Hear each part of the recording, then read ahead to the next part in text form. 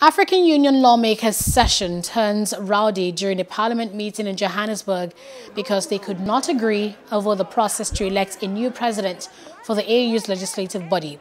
The scenes broadcast on South Africa's national TV, SABC, showed lawmakers scuffling over a ballot box and shouting before the election was suspended. Lawmakers from West Africa reportedly disagreed with their colleagues from Southern Africa over whether the presidency should move around the various regions of Africa on a rotational basis. Since the Pan-African Parliament was founded in 2004, there has never been a president from the South. The last two presidents of the Pan-African Parliament have been from West Africa. What is it sincerely?